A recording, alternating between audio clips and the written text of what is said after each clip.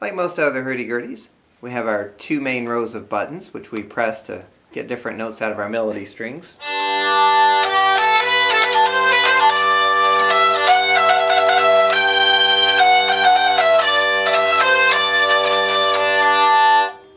Now we'll turn on our harmony string, which activates this lower row of keys here.